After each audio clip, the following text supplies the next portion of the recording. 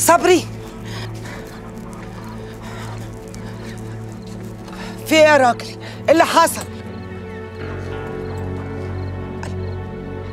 أما أنت راجل ما عندكش دم صحيح. يا راجل طمني على البيت بلبله إذا كان اللي عندي ما يطمنش. ليه؟ راحت في الرجلين؟ رجلين مين بقى بالظبط؟ هتعمل عليا ناصح. ما تقول وتخلص. متهمينها إنها كانت في شقة هيثم. هي وصاحبتها اللي قتلوه. اسر ابني بيقول إن موقفهم صعب. يودوها النيابة إمتى؟ بكرة الصبح. ما هو لو اللي عمل الحكاية دي عنده دم. وبدل ما يشيل بلاوي الناس يشيل هو بلوته. ده برضه اللي في دماغك في دماغك؟ فاكر إن أنا اللي قتلته؟ اللي ربى خير من اللي اشترى يا ام بلوزة. أنت لا ربيت ولا اشتريت. أنت مش لاقي أي حد تعمل عليه مفتح إلا أنا. طب سيبك مني أنا. فكري في البت اللي رايحة حبل المشنقة. في حاجة هي ما عملتهاش. الله يحرق دمك يا بعيد زي ما انت حرقت دمي. وإيه اللي يحرق دمك يا أم بلوزة؟ ما دام بتقولي ما عملتهاش.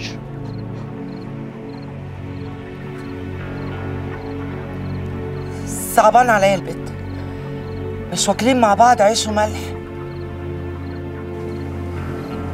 خش خش نام. انت ما عندكش أي كلمة تبل الريق.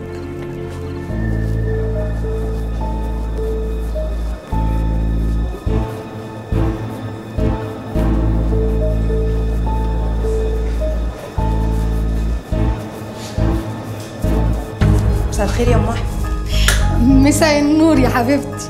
إيه بقالك شوية كده غايب. معلش ظروف. خد يا أم ياخد عدو بس ده كتير قوي. ربنا يكرمك يا رب وما يفضحكيش ابدا. هروح أجيب اللبس من الغسيل واجي ماشي.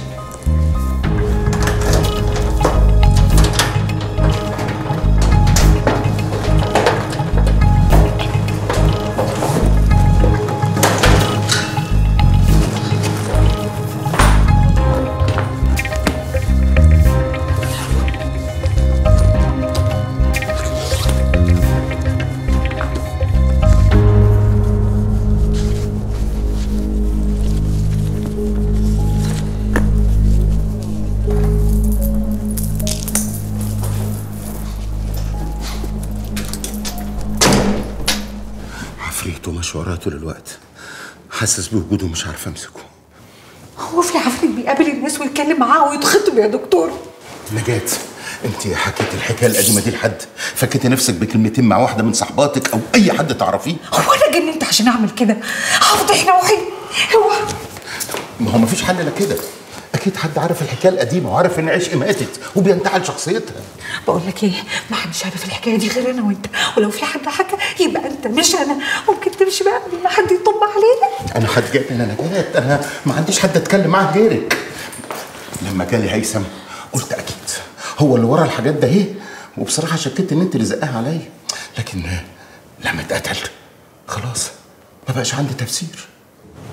ما يمكن أنا اللي قتلته وهتقتليه ليه ما دام ما خدش الفلوس؟ لو كان اتقتل بعد ما خد الفلوس كنت تبقي صح؟ خلاص يا دكتور الحكاية باينة زي الشمس. حياتك بتكر حتة ورا حتة. اديني الفلوس بقى. خليني أسدد بيهم الدين وأمشي من هنا قبل ما تقف نافوخي هتمشي وتروحي فين وتسيبيني؟ أنا ما عنديش حد أتكلم معاه غيرك. أنا متأكد إن في حد. وبيلعب من ورا الستاره الحاجة ده ممكن يقتل أنا خلاص ما بقتش مستحملة. كفاية عليا الذل اللي بشوفه من دعاء ليل ونهار. اديني الفلوس بقى خليني أمشي وأخرج من هنا. أنت إيه؟ مفيش في دماغك غير الفلوس وخلاص. يا ساتر.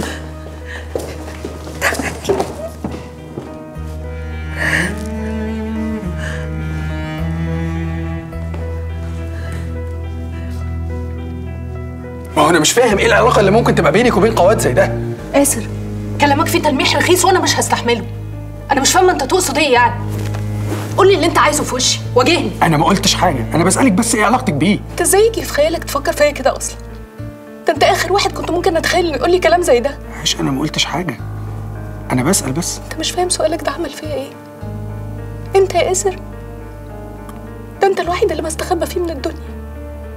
أنت الوحيد اللي وهو جنبي بحس بالأمان بحس إنه بيخاف عليا وبيحميني. عشان بحبك بسأل. بخاف عليكي بسأل ماشي يا ياسر. وأنا هجاوبك على سؤالك عشان تعرف الحقيقة وتبطل تشك فيا وتجرحني. هيثم ده كان شريك شمس في ال night. ال night اللي قابلتني فيه. هو انت مش سبتي ال night club؟ ماله مالك ما هو من ساعة ما سبته وهو عمال يطاردني. عمال يقول لي إنه بيحبني ومش قادر يعيش من بعدي وعايزني جنبه. وبقعد كل شوية أصده وبرضه مفيش فايدة. بيجي لي في كل حتة ويقعد يعيط لي. وبرضه بطرده. طب وليه البنات بيقولوا إنك خططتي لموته؟ دول أشكال زبالة من اللي هو بيشتغل معاهم وأكيد في بينه وبينهم بلاوي سودا تلاقيهم هم اللي قتلوه بيتبلوا عليا. معقول؟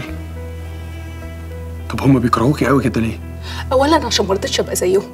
أي بني آدم في الدنيا بيغلط بيبقى عايز الناس كلها تغلط زيه. تاني حاجة بقى دول بنات متهددين بحبل المشنقة. يعني هيقولوا أي حاجة تيجي في خيالهم عشان يفلتوا منها. أنا قلت كده برضو لبابا. بس ما صدقنيش. وباباك ما قالكش أنا كنت فين لما هيثم ده اتقتل؟ قال لي. أنا آسف يا عشقة أعمل إيه باسفك دلوقتي يا ياسر بعد ما جرحتني؟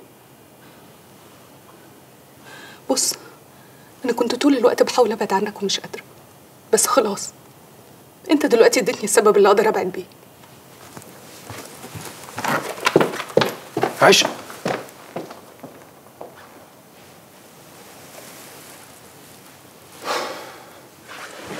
هي مش محتاجة مفهومية. عيش هي اللي قتلت هيثم؟ يا لهوي. اوعى تكون قلت لهم كده في الاسم اللي تودي بنت خالتك في ده. لا ما قلت لهمش كده. بس هي بالعقل كده. عيش كانت شغالة في الشمال مع هيثم. اختلفوا سوا فقتلته. يا واد عيب تقول كده على بنت خالتك. عيب إيه؟ بقول لك شكلها هي اللي قتلته مفيش غيرها. هي بقى ولا مش هي؟ المهم إنك خرجت من المصيبة دي على خير. آه تصدقي. ده أنا ربنا نجاني والله. قالوا أنا كنت عايز أتجوز ملك كان زمانهم قتلوني دلوقتي. أنا كده خايفة على أختك دعاء. دي عايشة في وسطيهم. دعاء؟ لا يا أختي ما تخافيش على دعاء. انت تخافي عليهم هم من دعاء.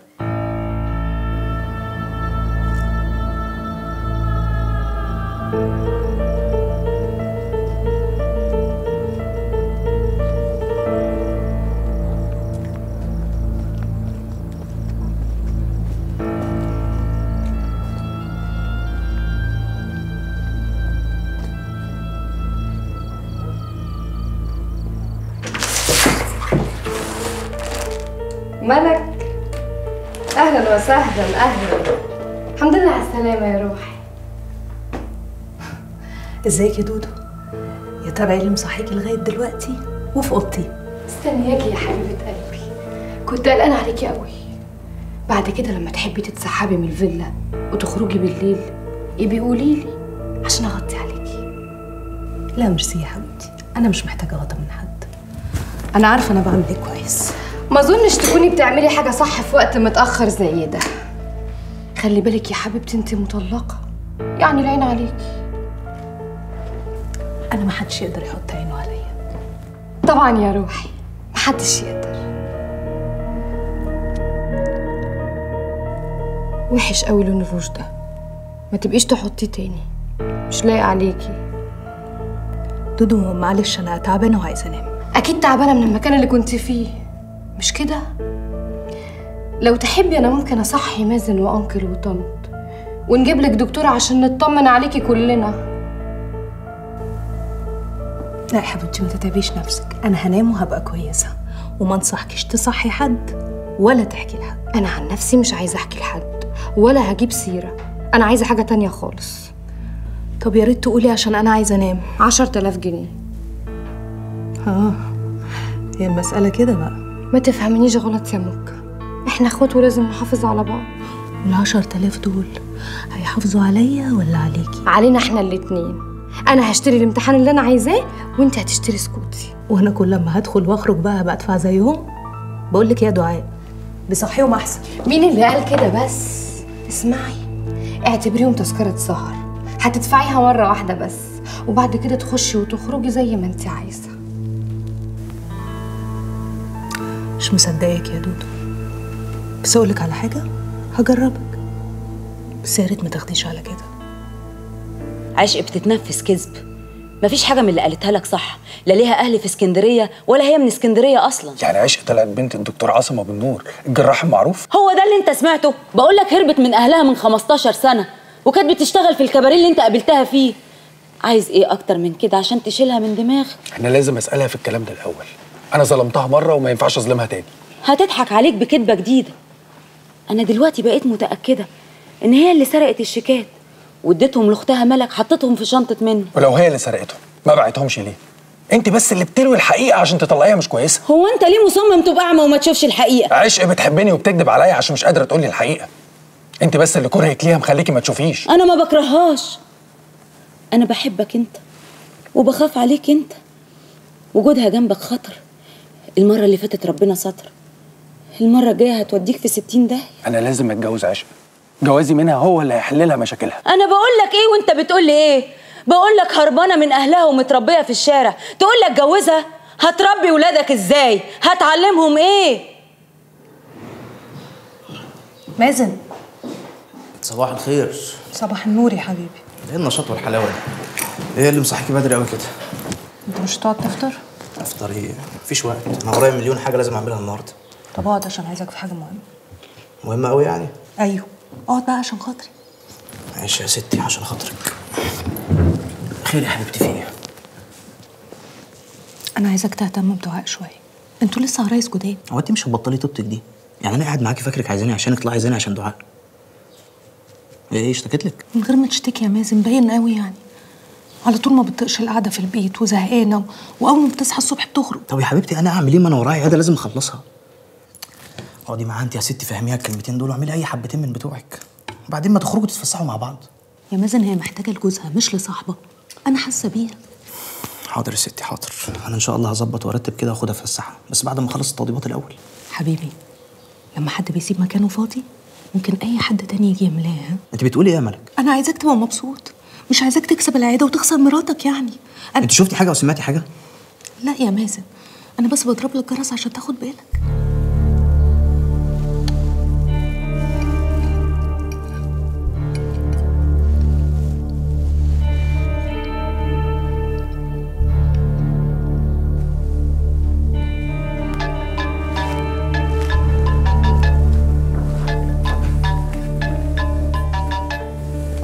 أيوه هشام إزيك؟ أنا الحمد لله تمام. طمني مالك عاملة إيه معاك؟ ما أنا بتكلم عشانها. لا مش هينفع في التليفون أنا محتاج أقابلك. أنت جاي لي في زنقة شغل يا هشام؟ طب بص أنا مش هفضى قبل نص الليل أنت سهران؟ لا نص الليل إيه؟ أنا محتاج أقعد معاك ضروري في كلام مهم محتاج أقوله لك. طب بقول لك إيه؟ ما تقول ملخص كده. المشكلة إن الكلام اللي أنا عايزك فيه ما ينفعش يتلخص. أيوه بس أنا شايف مالك كويسه وما فيهاش أي حاجة. أنت بتحاول تجرجرني في الكلام وأنا مش هتكلم في التليفون. لازم نتقابل يا دكتور. أنتوا كده يا بتوع السكاترة تحبوا تعملوا من الحبة قبة. في إيه بس؟ طب خلاص خلاص ماشي. أجي لك بكرة الساعة 8 بالليل. هستناك بس ضروري تيجي. مع السلامة.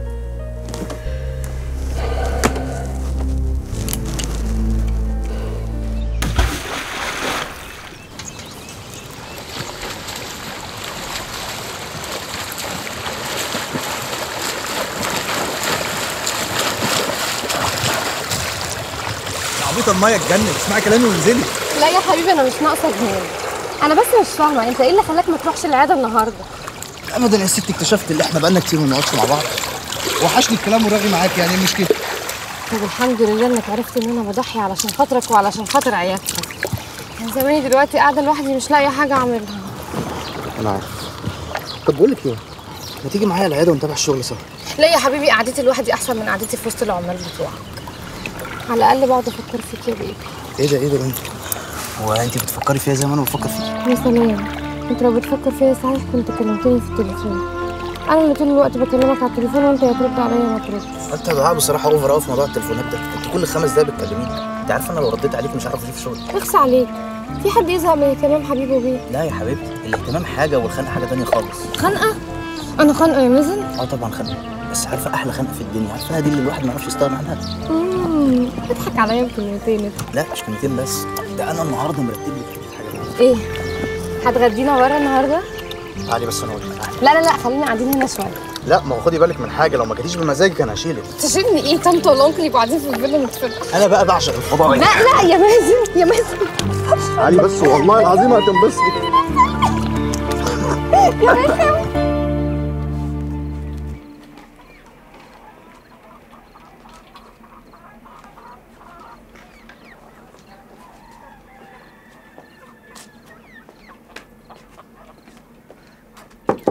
أستاذ صبري. أيوه. اتفضل أنا عازمك على العشاء. إيه ده كله؟ أصل بصراحة دبحت كل الفراخ اللي فاضلين. ليه كده؟ خسارة. لا خسارة ولا مكسب. أنا بقى كل اللي اتعلمته من أمي واللي اتعلمته منك حطيته بقى في العزومة دي. أيوه بس ده أكل كتير قوي مش كتير عليك يا أبو قاسر مطرح ما يسر يمر. انت لما بتكلميني كويس كده بقلق. ربنا ما يجيب قلق. دوق الملوخية وقول لي. آه.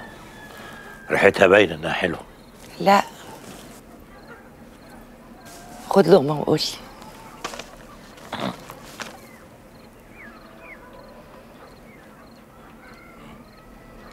لا والله فعلا مسكرة.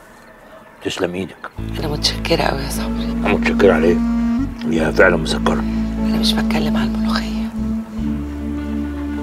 أنا بقول لك متشكرة على الأيام اللي فاتت. حياتي كلها كانت سواد قبل ما تيجي أنت على السطح. بقول إيه أنت؟ يا العزومة دي بتجرجري رجلي بيها ولا إيه؟ لا والله يا صبري. أنا بكلمك بجد. أنا في كلمتين مرتباهم في وعايزاك تسمعني وانت ساكت. عشان ما تلخبطهمش في دماغي. ماشي. أنا مش هتكلم هاكل ومش هتكلم. بص يا صبري لما بيبقى في واحدة زيي دنيتها خلصت واللي تبات فيه تصبح فيه. ويهل عليها راجل طيب ومحترم زيك. يديها نفس إنها تكمل اليومين اللي فاضل لها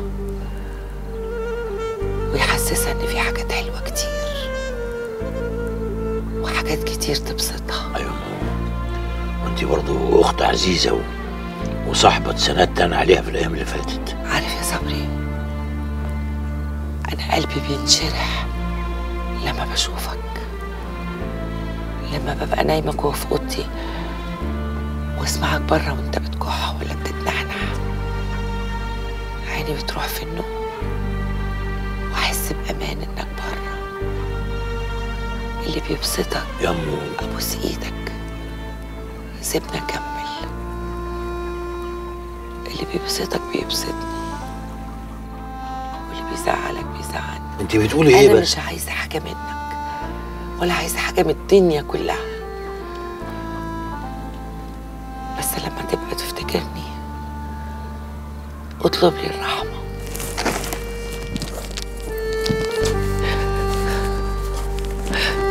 أم بلوزة.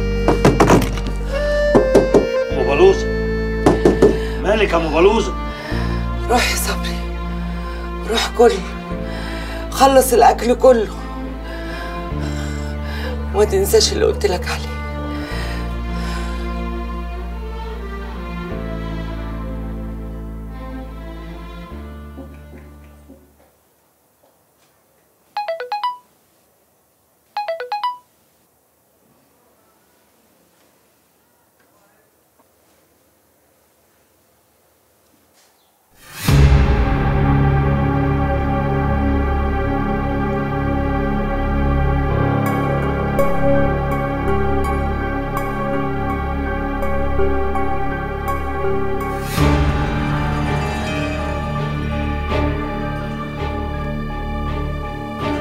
كده حلو قوي إبراهيم خد الاتنين دول على الحجز. يروحوا المستشفى ويجوا لي بعد الحمل.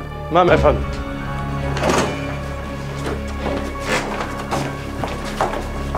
تمام يا فندم. العربية جاهزة في الأول يا فندم. طب يلا بينا. سعادة الباشا. عايزه أقول لحضرتك على كلمتين مهمين. طب تعالي لي بكرة الصبح عشان عندي حملة دلوقتي يا أم غلوز ما ينفعش يا باشا الكلام ده يستنى لبكرة الصبح. طب روحي لظابط النبطشي مش هينفع يا باشا. بوس إيدك سايق عليك النبي تسمعني. في إيه يا أم بلوزه أنا اللي ذبحت هيثم اللبان.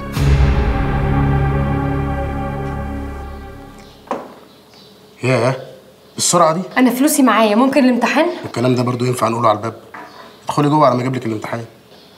يا بنتي ما تبصليش كده أنت دلوقتي ست متجوزة وما ينفعش حد يشوفك وانت واقفه على بابي كده.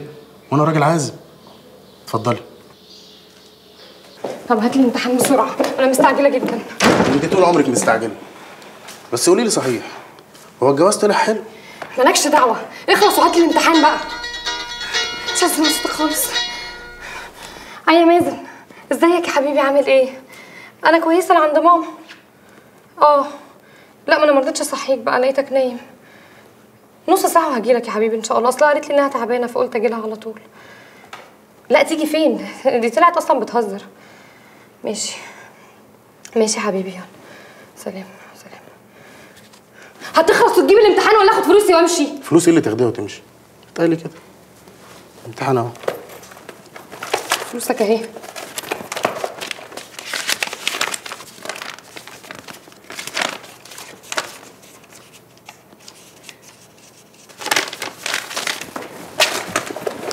بقول لك إيه؟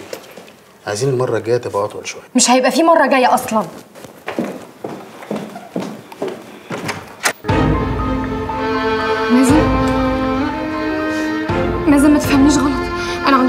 بتاعي والله كنت باخد امتحان.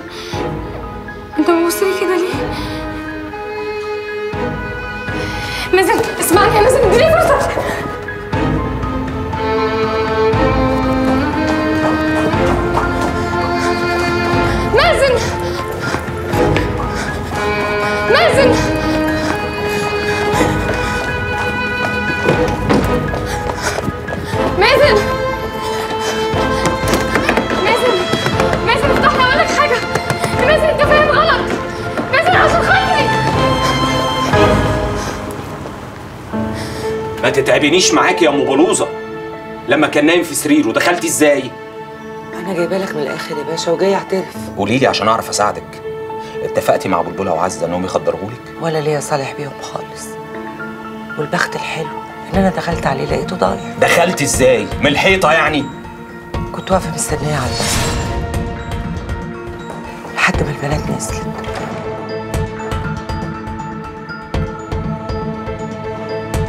أمنت نفسي. محدش طالع ولا نازل.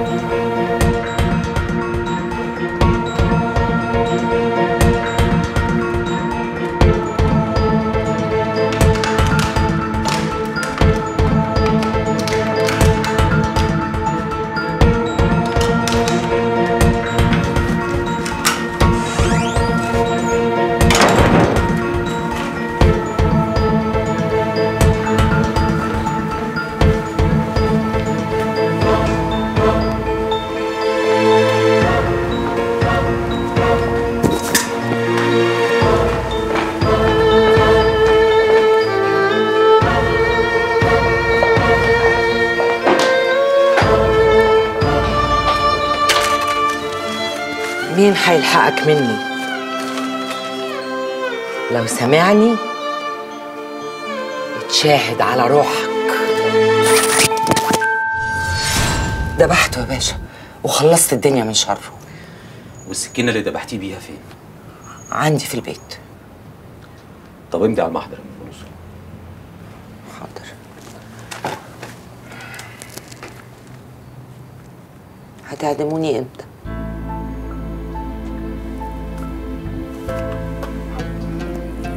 عارفة يا باشا إن أنا هتعدم. مستغرب ليه؟ أنت هتتعرضي على النيابة والنيابة هتحولك للمحكمة والقاضي اللي هيحكم. رجع المحضر اللي حضرتك هتكتبه. خدمني يا باشا واعمل لي محضر حلو كده. أنت مش خايفة من موت يا أم بلوزه اللي يخاف ما يعملش. وأنا خدت حق ابني خلاص. مش عايزة حاجة من الدنيا. عايزة أروح له بقى. يا أمين. خد أم بلوزه على الحجز وارجع لي تاني عشان نخلص بقية إجراءاتها. وصي عليها في الحجز ما حدش يقرب لها. دي تبعي ها؟ تمام يا فندم. شكرا قوي يا باشا. السلام عليكم.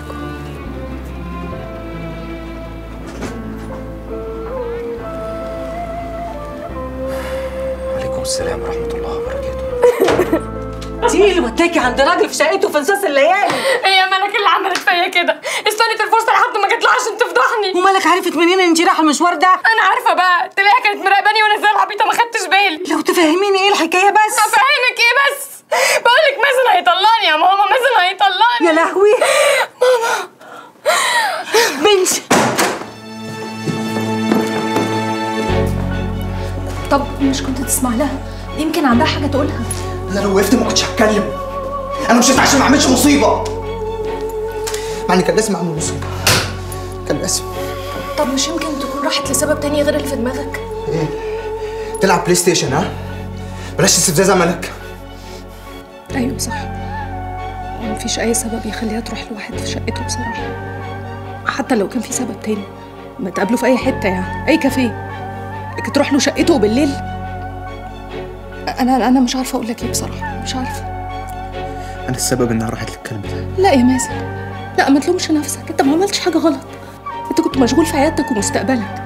هو إيه؟ اي واحدة جوزها يتشغل عنها شوية تعمل كده؟ تخونه؟ أنا السبب عشان ما بفهمش أنا شفتهم واقفين مع بعض كذا مرة في الجامعة. بس قلت عادي المعيد بتاعها. أنا اللي مغفل. لا ما تقولش على نفسك كده عشان خاطري. انت حبيتها واللي بيحبه عمر ما يجي في باله الخيانة. أنا زعلان عشان حبيتها.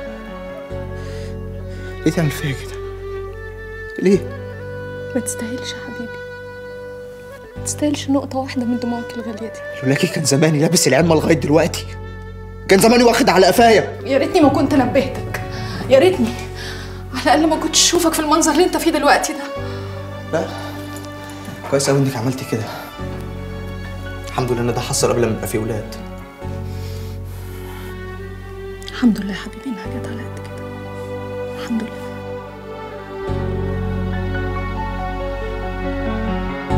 يوه أنا حر. أنت ليه مصر تغرق نفسك؟ عشقي دي مصيبة. كل كلامك طلع غلط ومفيش إثبات واحد عليه. أنا كنت بسمع كلامك زمان وبيأثر فيا بس دلوقتي خلاص ما بقتش أتأثر بيه. يا أولاد صلوا على النبي مال الله. في يا فريد؟ اسر عنده حق. عشق بنت كويسة بس ظروفها هي اللي وحشه حتى أنت كمان يا بابا؟ مش قادر تفرق بين البني آدم الكويس والوحش؟ هي دي فريدة يا بابا. لو ما اتفقتش مع كلامها هتطلع ما بتفهمش. أنا ما قلتش كده على بابا. ومش عشان تكسب بابا في صفك تبوظ علاقتي بيه. وكمان نظرية المؤامرة. اصحى يا فريدة. عشق طلعت بنت ناس كويسين والدكتور عاصم أبو النور طلع من أهم دكاترة التجميل في مصر. خلاص يا ياسر. أنت حر. أنت زعلت مني يا بابا؟ لا يا حبيبتي. أنا عارف إنك ما تقصديش. أنا آسفة يا بابا. بس طريقة ياسر هي اللي خلتني أقول كلام ما أقصدوش. خلاص يا فريده ما حصلش حاجة. روح اخطبها يا ياسر بس بكرة تندم. فريده أخوكي ما بقاش صغير من حقه يختار اللي هو عايزها. زي ما انت بالظبط بتختار اللي انت عايزاه. فينك يا عم صبري من زمان؟ تنصفني من بنتك دي. يا حبيبي ساعات عينينا بتخدعنا ونفتكر إننا شايفين صح. والحقيقة إننا شايفين حاجات بيهيئها لنا الشيطان. ماما اللي أنا شفته سهل وبسيط ومش محتاج أي تفسير. ما تحاوليش تضحكي عليا عشان هي بنت أختك. لو فاكر إنها تهمني أكتر منك تبقى غلطان. حبيبي أنا بتكلم عشانك أنت. طب هي قعدت مع الراجل ده في شقته قد إيه؟ حوالي خمس دقايق. في واحدة تقعد مع راجل في شقته خمس دقايق. طب إزاي؟ يا ماما أنا بقول لك كلمتها فخافت وخرجت. وما تعملش ده غير وأنت قاعد معاها في البيت. طب ما انت بتخرج كل يوم وبترجع نص الليل. لا يا حبيبتي ما هو البينا ما بعت لها مسج ما عرفتش تتأخر عليه. قريت الرسالة؟ مش محتاجة أقراها بقول لك شفتها عنده في الشقة. يا ماما دي كدبت عليا وقالت لي إنها عند مامتها. لو اللي بتقوله صح بعتولي أروح لهم ليه؟ لو في حاجة غلط عفاف كانت سكتت وكتمت عليها وخلاص. دي أختي وأنا عارفاها. أيوه ما هم فاكرين إن هم يعرفوا يشتغلوك بكلمتين عشان تأثري فيا أنا. خلاص يا مازن أنا هروح وأسمع. واللي هيقولوه هقوله لك وانت حر بقى.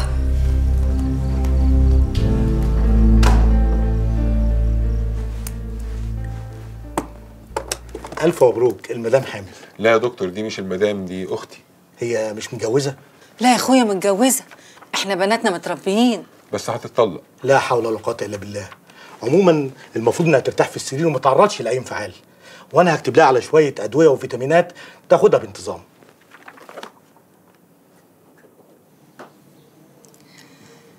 يا ميلة بختك يا دعاء يا بنتي مش عارفة أفرح ولا أعيط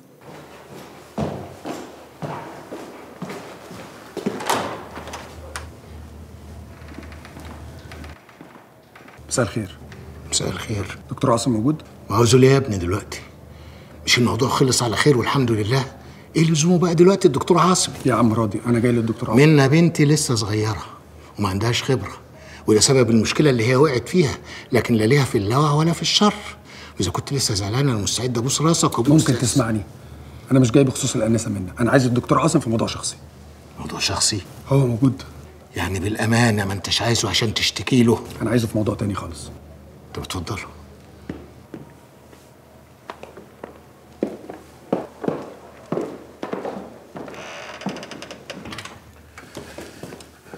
اتفضلوا ارتاحوا وأنا هديله خبر.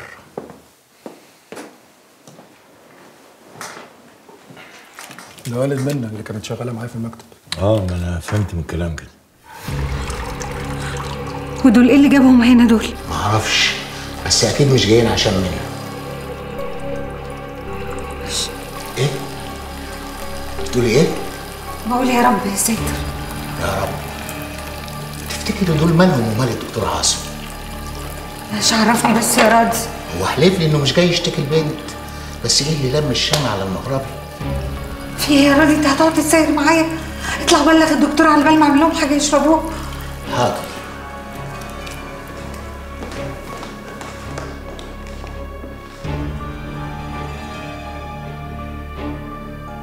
هو أنتوا عشان ربنا اداكوا تقوم تفطروا على الناس؟ انت تحبسي لولا وابنك يعمل في بنتي كده؟ يا عفاف! لولا كانت هتبقى سبب إني أدخل السجن. تقومي تحبسيها؟ حرام عليكي. ليه الافتراء ده؟ خلاص يا جماعة سيبكم من مشكلة لولا دلوقتي. البنت اتحبست واللي حصل حصل. عايزين بقى نشوف الكارثة بتاع الدعاء. أنا بنتي متربية ولا يمكن تغلط ابدا؟ مازن معذور يا عفاف. لما بنتك تقوم من سريرها وتروح لشقة راجل عازب من ورا جوزها هيقول إيه؟ يقول إنها رايحة تجيب الامتحان. مش يفكر إنها رايحة في حاجة وحشة. وهي يعني لو رايحة تجيب الامتحان تبقى مش رايحة في حاجة وحشة؟ ما هو غلط. اسكت أنت. أنت عايزاني أدافع عنها وخلاص؟ غلط. اسكت أنت يا واد. دعاء حامل يا ليلى. واللي عمله مازن كان هيضيعها هي واللي في بطنها دعاء حامل؟ أنا ممكن أبقى وسط خير بينك وبينها. أنا أصلي ليا دلال عليه. واضح إنك مش فاهم كلامي يا أستاذ صبري. بنت عشق تاهت من 15 سنة ومفيش بيني وبينها أي مشكلة. ما دام ما رجعش لحضرتك يبقى أكيد كان في مشكلة على الأقل من ناحيتها. وإلا كانت قدرت توصل لحضرتك زي ما إحنا قدرنا نوصل لك. ولا أنا كلامي فيه غلط؟ أنا مش فاهم أي حاجة. ممكن مثلا حضرتك تكون شخطت فيها قلت لها كلمة زعلتها خايفة ترجع البيت لحسن حضرتك تحبسها. عشان كده ما رجعتش. يا أستاذ أنا فاهم اللي أنت بتقوله كويس قوي بس مش فاهم اللي بيحصل دلوقتي. بنتي عشق تاهت من 15 سنة وابن حضرتك جاي عشان يخطبها وأنا ما أعرفش عنها أي حاجة. أعمل إيه؟ لا أقدر أوافق ولا أرفض إلا لما أشوفها. إحنا مش جايين طالبين من حضرتك رد. كل الموضوع إن إحنا بنحكي لك الحكاية مش أكتر من كده. وسبق قبل كده أنا وعشق كنا هنتجوز فعلا بس حصلت لها ظروف. وأعتقد يعني إن الظروف دي اتلغت بوجود حضرتك. ظروف إيه؟ بقول لك ما أعرفش حاجة عنها. لازم أشوفها الأول وبعدين نتكلم. أنا هشرح لحضرتك يا دكتور. الحكاية حسب فهم المتواضع ليها إن الانسه عشق لما تاهت من حضرتك لقوها ناس من اسكندرية عاشت معاهم. بعد فترة حبوا يغصبوها إنها تتجوز واحد هي مش عايزاه فهربت. وهي دلوقتي خايفة منه. كل الحواديت دي ملهاش أي قيمة عندي. أنا كل اللي يهمني دلوقتي أشوف بنتي وبعد كده نتكلم في أي حاجة. آسر أنا بيتهيألي إن الدكتور عنده حق. إحنا لازم نمشي في الحكاية خطوة خطوة. الأول نقابل عشق والدها وبعد كده اللي فيه الخير يعمله ربنا. أنتوا تعرفوا مكانها أو رقم تليفونها؟ للأسف ما نعرفش مكانها بس أنا معايا رقم تليفونها. اديهولي لو سمحت. تحت أمرك طبعا. بس هستأذنك يعني أكلمها الأول أشوف رد فعلها بعد كده حضرتك تكلمها. اتفضل. استنى يا ياسر ما تكلمهاش دلوقتي. يستنى ليه؟ ما تسيبه يكلمها. أنا ليا رأي بعد إذن سعادتك. إحنا الأول نخلي آسر يقعد معاها ويحكي لها الحكاية عشان نعرف رد فعلها. وإلا ممكن تختفي تاني وما نعرفش نوصل لها. وأنا بقى أعمل إيه لغاية ما ده يحصل؟ هفضل مستني؟ اديني رقم التليفون لو سمحت. اتفضل. بس هستأذنك ما تكلمهاش لغاية ما أكلمها وأقعد معاها. دكتور عاصم. الحكاية دي محتاجة شوية صبر وشوية عقل وإن شاء الله الفرحة تبقى فرحتين فرحة رجوعها وفرحة جوازها.